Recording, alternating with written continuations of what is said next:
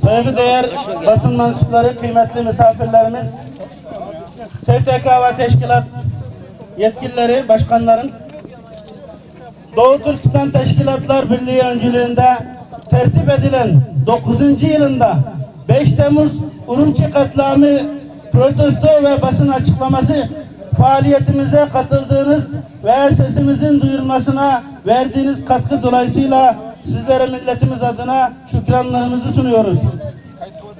Bundan tam 9 sene önce 5 Temmuz 2009 tarihinde Çin işgali altındaki Doğu Türkistan'ın başkenti Urumçi'de Çin işgal güçleriyle Çin yönetiminin silahlandırdığı etnik şovenist Çinli paramiliter çetelerin Müslüman Uygur Türklerine karşı yaptığı soykırım temelli büyük bir katliam gerçekleşmişti. Hak, adalet.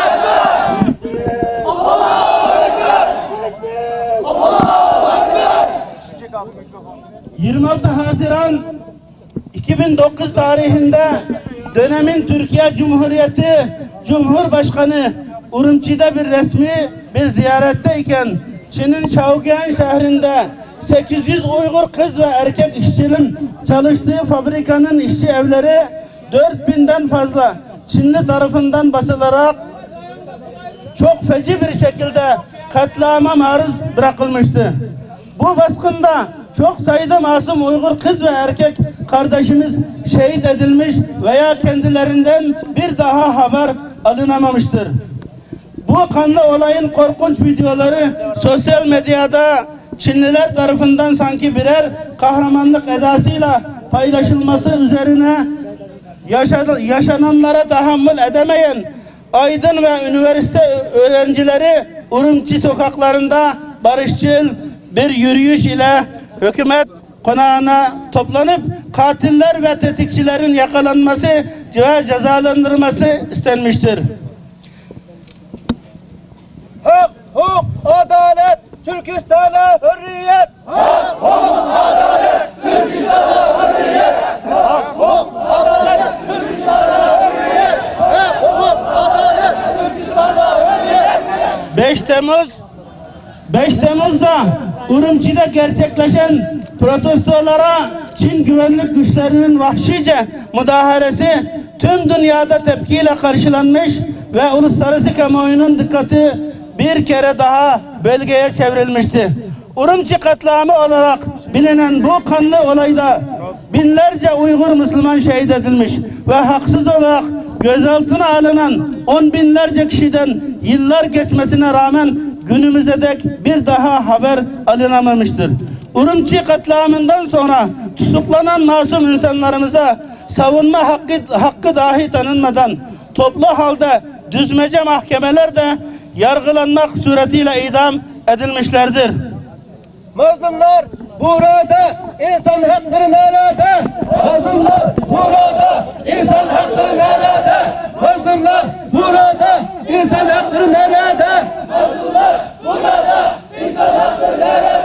5 Temmuz Ürümçi katliamı sonrası başta Türk İslam dünyası olmak üzere uluslararası toplumun Doğu Türkistan'da yaşanan katliamlar, baskı, zulüm, ırki aşağılama ve diğer bütün insan hakları ihlalleriyle ilgili hiçbir adım atılma, atılmaması Doğu Türkistan diasporasının talep ve talep ettiği araştırma ve soruşturmaya yönelik yeterli baskı oluşturulmamasından cesaretlenen Çin yönetimi bölgede baskı ve zulüm sınırlarını her, her geçen gün arttırmaya aradan 9 sene aradan 9 yılda 5 Temmuz'a benzer toplu kıyım ve katliamlar yapmaya devam etmiştir. Bu katliamların başında 2006'da başında 26 Haziran 2013 Aksu Lükçün ilçesi ve 28 Haziran Hoten Hanırık'ta Çinli polislerin yaptığı bir operasyonla yaşanan katliam gelmektedir. Resmi kaynaklara göre Lükçün olaylarında yüzlerce Müslüman Uygur Türk'ü şehit edilmiştir. Şincan değil Doğu Türkistan. Şincan değil Doğu Türkistan. Şincan değil Doğu Türkistan. Şincan değil Doğu Türkistan. Şincan değil Doğu Türkistan. 5 Temmuz 2009 Ürümçi katliamı sonrası yapılan en büyük soykırım teşebbüsü ise Yarkent ili İlişko ilçesin, ilçesindeki katliamdır. Bu katliamda İlişko'nun iki beldesinde 3000 civarında masum kardeşimiz şehit edilmiştir. Xi Jinping'in 2050 süper Çin hayaline ermek için Çin'de başlattığı büyük projenin Doğu Türkistan'daki işleyişi Doğu Türkistan halkı için adeta cehennem projesi olmaktadır. Xi Jinping'in Doğu Türkistan'da Uygur Türklerine yönelik önceki dönemlerinden beri devam eden soykırım, din ve inanç özgürlüğüne yönelik kısıtlamalar, doğum yasakları, Çin yerleşim yerleşimiyle demografik değişim veya dil kültürel asimilasyonu Çinlileştirme politikaları yerli yeterli sayılmadığı bu işin önemine nazaran Doğu Türkistan'daki asimilasyon ve Çinlileştirme politikasının hız kazandırılması için Doğu Türkistan'a özel yetkilerle donatılmış yeni genel vali ve Komünist Parti Genel Sekreteri tayin edilmiştir. Doğu Türkistan'da bir sene içerisinde bizzat Xi Jinping'in denetiminde başlatılan bir takım insanlık dışı icraatlar Çinlilerin Uygur halkını toplu işkence politikaları, politikaları ile haritadan silme gayretine gayretinde gözlerini ne kadar kararttığını göstermektedir. Xi Jinping'e ölüm, ölümcüye selam. Xi Jinping'e ölüm, ölümcüye selam. Xi Jinping'e ölüm, Türkistan'a selam. Şu an Doğu Türkistan'da Xi Jinping'in başlatmış olduğu insanlık dışı birkaç e, uygulamasını sizlere aktarıyorum. Birinci Çinlileştirmeyi hızlandırmak için anaokuldan itibaren Çince eğitim, Çince yemek, Çince giyim kuşam, Çin kültürüne özendirme etkinliği gibi veya Çinlilerle evlendirme e, projesi yürürlüğe girmiştir. İkinci, Türk İslam dünyasının bir parçası olan Doğu Türkistan'ımızda şu an işgalci Çin bir milyondan fazla kardeşimizi süresi belirsiz bir şekilde sözde terbiye kampı olarak adlandırılan Çin Nazi kamplarında tutarak beyin yıkama ve sindirme siyasetiyle Çinlileştirmeye çalışmaktadır. Doğu Türkistan halkının direncini kırmak, zihinsel olarak yenilgi ve umutsuzluğu aşılamak olmaktadır. Uygur milletinin psikolojisine baskı uygulayan bir takım beyin yıkama çalışmalarını tamamen gayri insani bir biçimde bütün insan hak ve hukuk hukuku çiğneyerek tam hız yürütmektedir. Üçüncü Doğu Türkistan halkı daha Çin Nazi kamplarının yarattığı dehşet ve travmasından kendine gelememişken hepimiz hepimizi sarsan ve sabrımızı taşıran Çinli Uygur kız ikiz aile genel genelgesi yürürlüğe girdi. Bir taraftan bölgede Uygur, Kazak ve Kırgız olmak üzere bütün Tü- Doğu Türkistan toplumunun büyük bir kısmı Çin Nazi kamplarında esir tutulurken diğer taraftan sözde kardeş aile projesiyle Çinli göçmen erkekleri evlerimize yerleştir, yerleştirmektedir. Bu uygulama çerçevesinde Çin'in iç kıs- kısmından Çinlileri özellikle seçerek Doğu Türkistan'a getirip Uygur Çinli kardeşliği planı kapsamında Müslüman Türk aileleri ailelerine taksim ediliyor. Bazı aileler erkek kadın Çinli yerleştir, yerleştirilmişken bazı ailelere sadece erkek Çinlilerin yerleştirildiği bilinmektedir. Hatta bazı bazı ailede erkeklerin Nazi kamplarında tutulduğu, evlere ise Çinli erkeklerin yerleştirmesinden kaynaklanan taciz ve tecavüz olayları toplumda ciddi kaygı ve sarsantı yaratmıştır. Zalim Çin şaşırma, sabrımızı taşırma. Zalim Çin şaşırma, sabrımızı taşırma. Zalim Çin şaşırma, sabrımızı taşırma. Nazi kampları kapatılsın. Nazik kapları kapatılsın. Nazik kapları kapatılsın. Evlerde Çinliler istemiyoruz. Evlerde Çinliler istemiyoruz. Evlerde Çinliler istemiyoruz.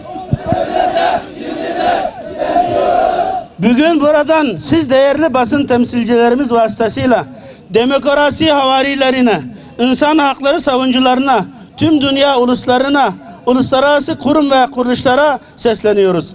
Eğer iddia ettiğiniz gibi demokrasi ve insan hakları güçler, güç, güçlüden değil, haktan yana ise Doğu Türkistan'da yaşan, yaşananları artık görün. Şayet bu durumu görmez ve gereğini yerine getirmezseniz yakın bir gelecekte Çin sizin başınızı da musallat olacak ve dünyaya büyük bir tehdit oluşturma oluşturarak ortaya çıkacaktır.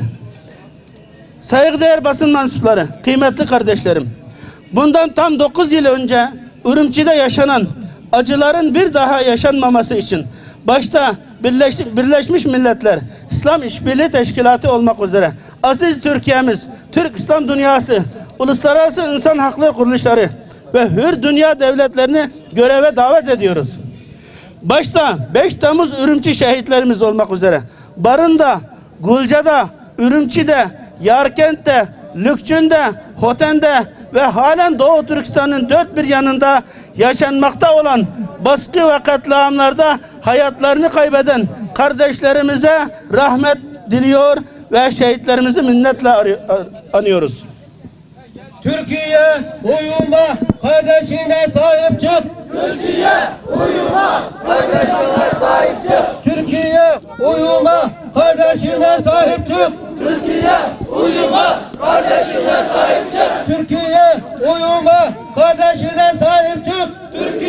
uyuma kardeşine sahip çık.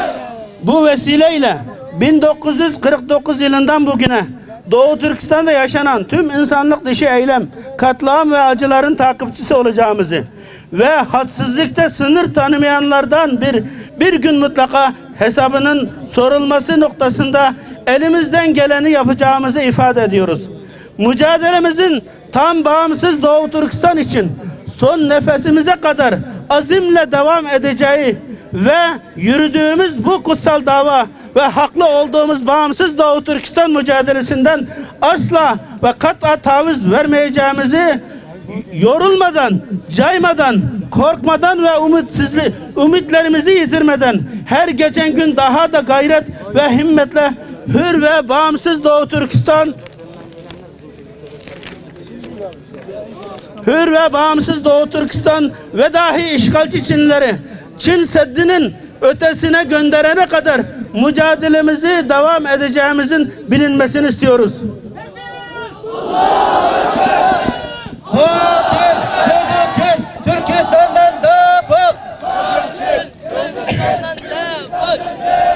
Katil söz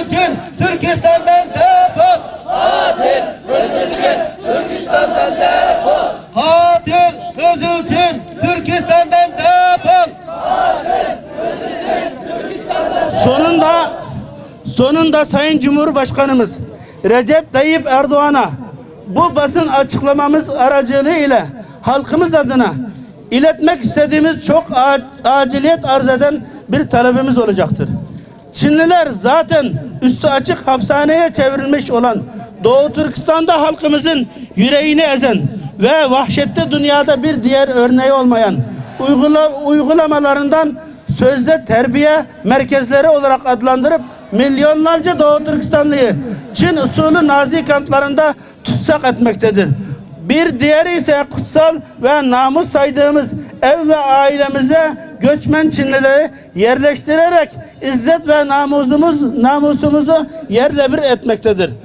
Evlerimiz ve sokaklarımız veyrane ve perişan hale dönüşmüş.